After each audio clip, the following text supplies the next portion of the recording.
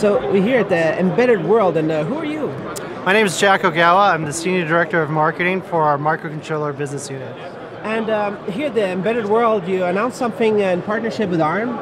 Um, what are you working on with them? So indeed, so we had a release on Monday that talked about how PSOC 6, our secure microcontroller, uh, supports the highest level of security that's been defined by the Platform Security Architecture Initiative from ARM. Highest level? The highest level. So we provide three levels of isolation within the microcontroller.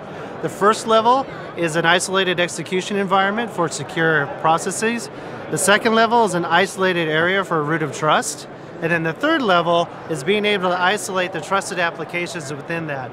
So providing those three levels allows us to achieve that highest levels um, for PSA. Because the PSOC 6 is an ARM Cortex M4 based uh, solution, right? Right. But the way that you do P- PSOC, you have all kinds of uh, um, proprietary or designs that you do security you've been doing before. That's now right. This is the next level, or That's right. So we have some uh, unique capability in the architecture, starting with the, with the fact that there are two cores in the part. We also have utilized uh, memory and, and peripheral protection units that are fully configurable.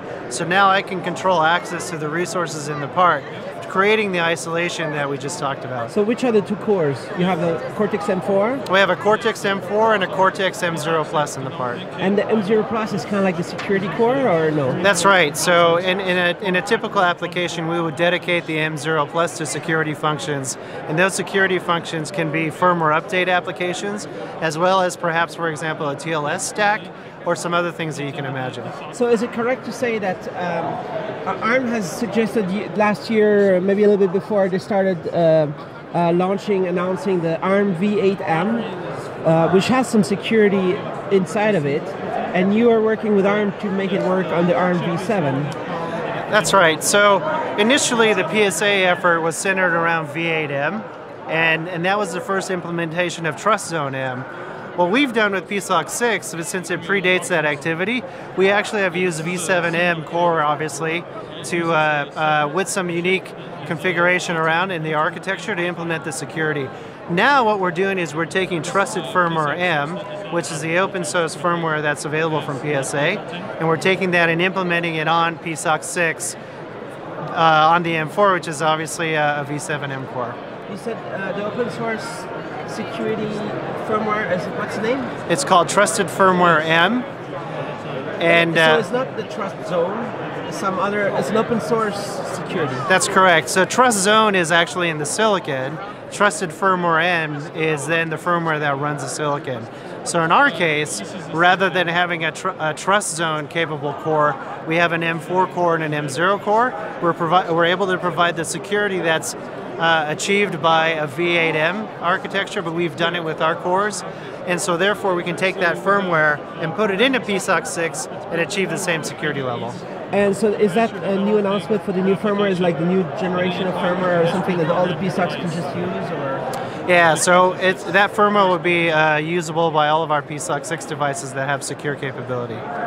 They for free. They can just update to that if they want. That's right, and that's the philosophy of PSA is they want to broaden the ability for people to, to implement security, and their strategy is to make threat models available for everybody, uh, firmware through open source available, and then of course uh, proliferate the marketplace with uh, products that use ARM and techno- um, core technology. So I would imagine that maybe uh, the ARM V8M, which hasn't kind shipped, kind of not yet, but uh, when it's hardware security is the best way, and you have hardware security because you have those two cores. So does that mean you are as secure as whatever's going to come out with ARM V8M? That's an excellent question. So, by analysis, Trust Zone has two levels of protection that's, that are implemented. Because of our architecture, not only can we cover those two levels, but we also had that third level that I mentioned, which is being able to isolate the root of trust.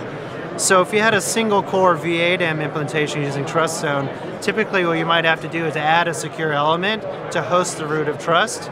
In PSOC 6, we actually integrate that secure element capability inside of the part.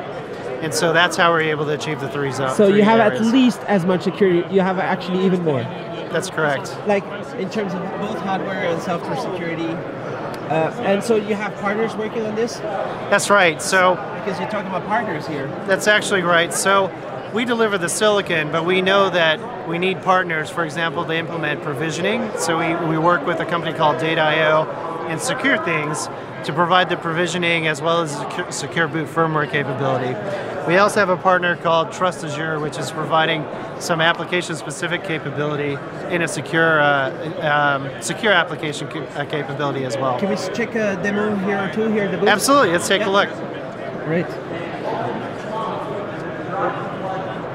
So one of one of our partners is a company called Onethinx, and they're implementing a LoRaWAN module using PSOC 6. Yeah.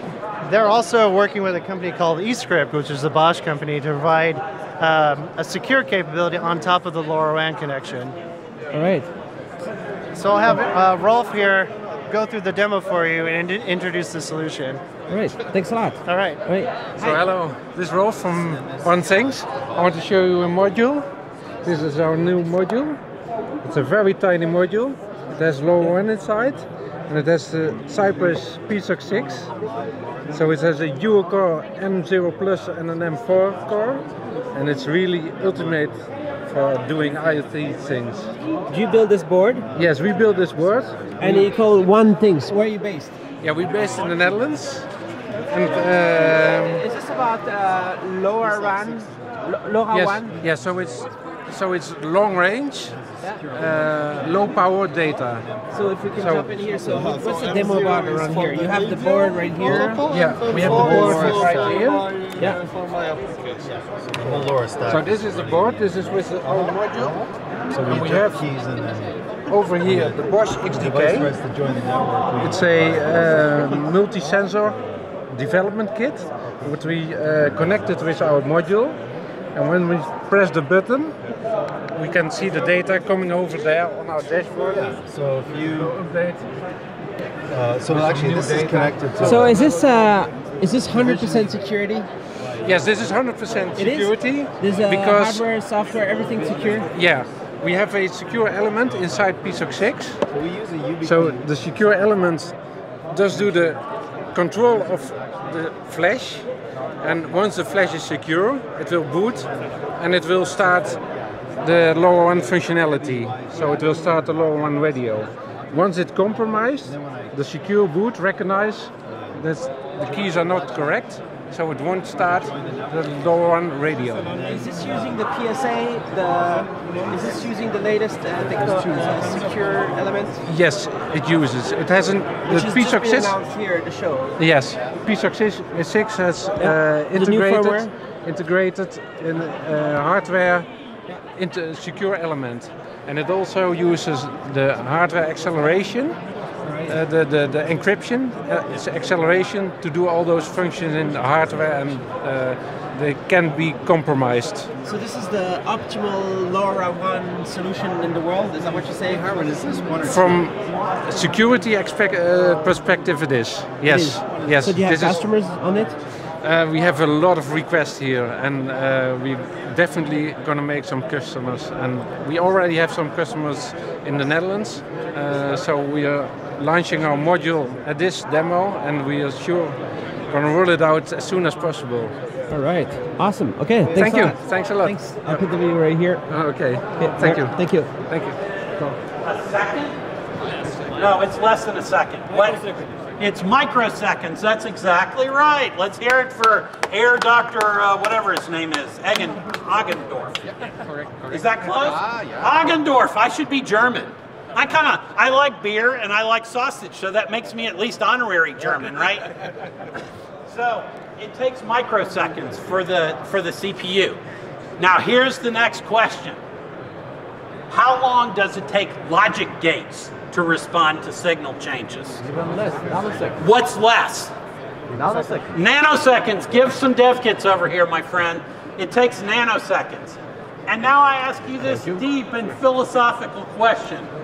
How much faster is a nanosecond than a microsecond? It's three zeros. That's right. That is a long damn time. Three zeros. 1,000 times faster. So the bottom line is if you've got some safety critical thing or something, you should put it in our PLD. The other thing that you've got going on is when you have an MCU, you have software. And when you have software, you have a human being. And another name for a human being is a bug making machine, right? So, yeah, right? That's exactly right. So if you make a bug in your software code and your, your software code is off doing whatever it's doing, it sure as hell isn't turning off the robot arm from beating itself into oblivion. And that's no bueno, as they say some places. All right. Some of the other stuff over here.